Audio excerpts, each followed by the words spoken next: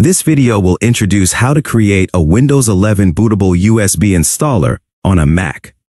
Alright, let's get started.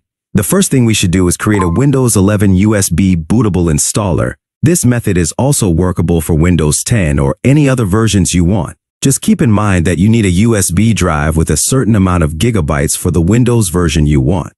For example, we need at least an 8 gigabytes USB drive to create a Windows 11 bootable installer. Anywhere between 8 gigabytes and 16 gigabytes should be fine. After choosing the right USB flash drive, the next thing you should do is download the ISO file. We will give an example tutorial for Windows 11, the latest version, but if you want others, this instruction still works. Go ahead and Google Windows 11 ISO, which will bring you to the Microsoft download page.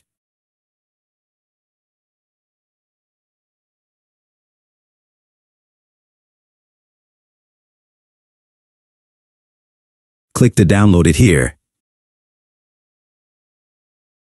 Then choose your language and click the Confirm button.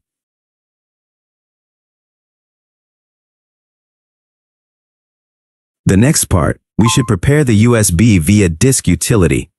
Launch Disk Utility on your Mac, then select the Windows 11 bootable USB. Click the Erase button to format the USB. Note, erasing a drive will delete everything on it, so ensure you have backed up your essential data in advance. We can rename the USB drive, then we should choose the format FAT. There is no need to change the scheme, by default, it's master boot record, what we want. Hit the erase button and wait a very short time, the USB drive format is correct. Once it is done, go ahead and find the downloaded ISO file. Go to the Google download page, click the three dots, and select Show in Finder. Then you can find the downloaded Windows 11 ISO file in the Finder window. The third part, we should learn how to move the Windows 11 ISO files you downloaded into the formatted USB flash drive.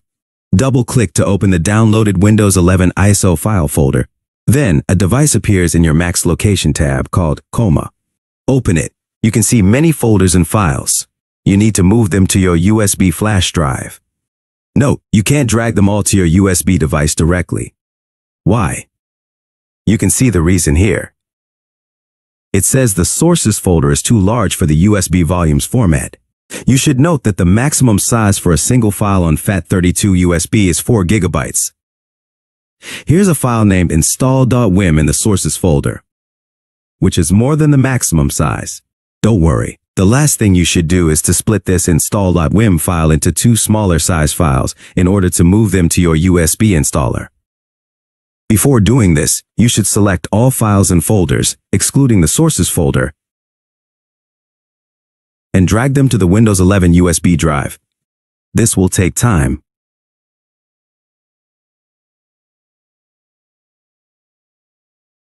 Then go to your USB drive and create a new folder named Sources.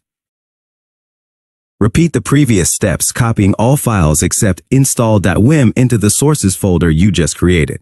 You can use the Command C and V shortcuts on Mac keyboard. Wait until all files are pasted in the USB sources folder.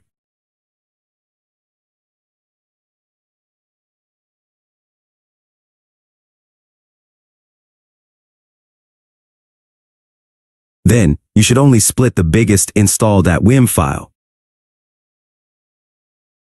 In order to add the install.wim file, we will need a program called wimlib which is terminal-based. Open terminal and paste this command. You can copy this command in our video description part. Enter your password if asked and wait for a few minutes.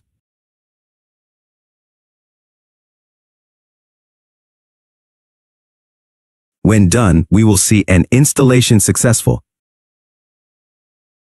Then, enter this command to install Wimlib. This is used to split the larger install file into two parts. After it is installed successfully, enter the following command to split the install.wim file. The number 4000 means the biggest file should be 4 gigabytes after splitting. This will take a while depending on the speed of your CPU. Once it is done, check the sources folder in your USB drive. Now you can eject and unplug your Windows 11 USB installer and plug it into your Windows PC to install Windows 11. Subscribe to us to get more content videos in the future. Hope you have a good day. Bye.